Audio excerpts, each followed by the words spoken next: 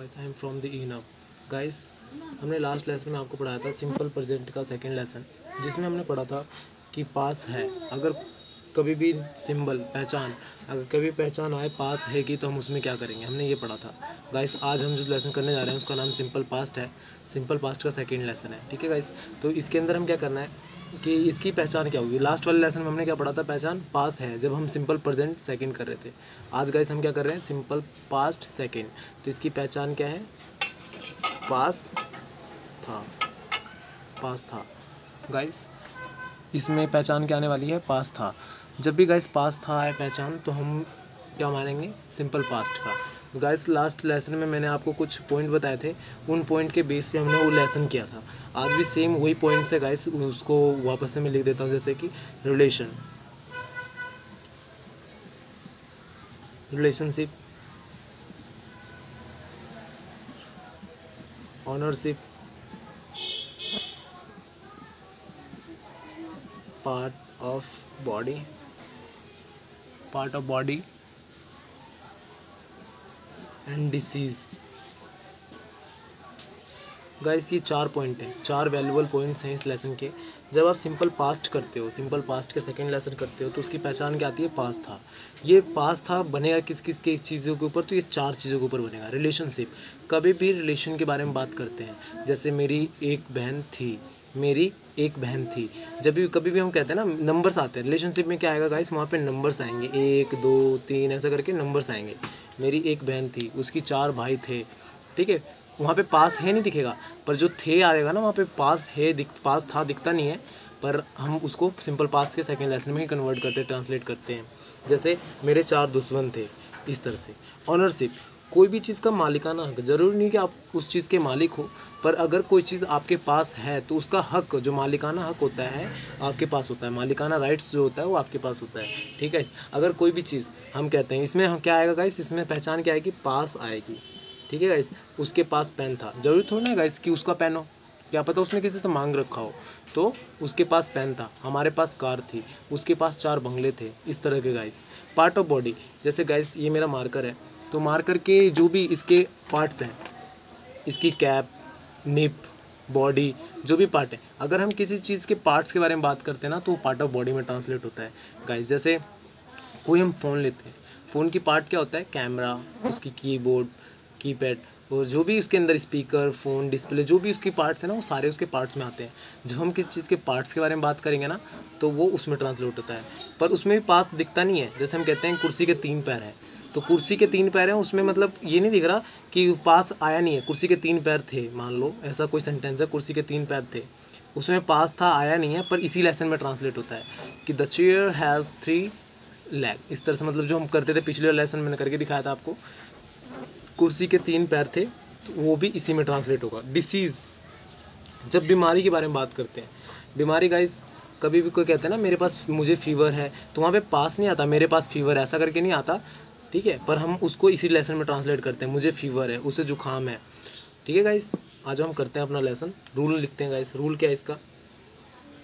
Subject सबसे पहले, जैसे कि आपको पता है ऑब्जेक्ट सबसे लास्ट में गाइस ठीक है? ऑब्जेक्ट सबसे लास्ट में। बीच में क्या आने वाला है गाइस यहाँ पर हेड आने वाला है। बीच में हेड ठीक है गाइस ये हेड सबके साथ आएगा। जितने भी है ना आपके सब्जेक्ट सबके साथ आएगा। जैसे कि I you we they plural ही से इट नेम सिंगुलर। ये जितने भी है ना, इन सब के साथ क्या आएगा? हेड आएगा आज।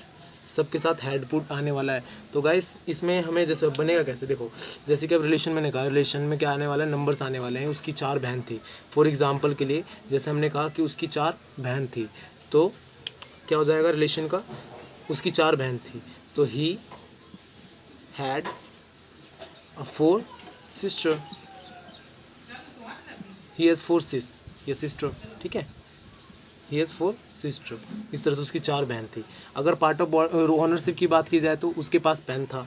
तो ही या मेरे पास पेन था। तो I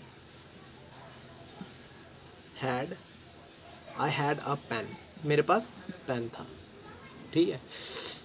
अगर मान लो हम कहते हैं पार्ट ऑफ़ बॉडी के बारे में बात करें, कि को गाय के गाय के दो दांत हैं, कुछ भी मतलब कैसा भी है, कुर्सी के वो इतने हैं, या पेन, फ़ोन के दो कैमरे, फ़ोन में दो कैमरे हैं तो क्या बनेगा? फ़ोन हैड टू कैमरा ठीक है? टू कैमराज हो जाएगा वहाँ पे, क्योंकि दो हैं, एक से ज़्यादा है तो ऐसा लग जाएगा टू कैमराज डिसीज़ के बारे में बात करते हैं तो डिसीज़ में क्या बन जाएगा इस कि उसे बुखार बुखार बुखार था, मान लो उसे बुखार था तो ही हैड फीवर हमें खांसी थी तो वी हैड कोल्ड इस तरह से, ठीक है? जुकाम था कोल्ड जो भी मतलब जो भी जैसे बनना है, उस तरह से गैस आपको गैस समझ में आया? गैस अगर आप जो हमने लेसन कराया सिंपल पास्ट का सेकंड लेसन मैं एक बार दोबारा से रिपीट कर देता हूँ फास्टली लास्ट लेसन मैंने आपको गैस करवाया था सिंपल प्रेजेंट का फ़र्स्ट लेसन गाइस जिसमें हमने पढ़ा था पास है.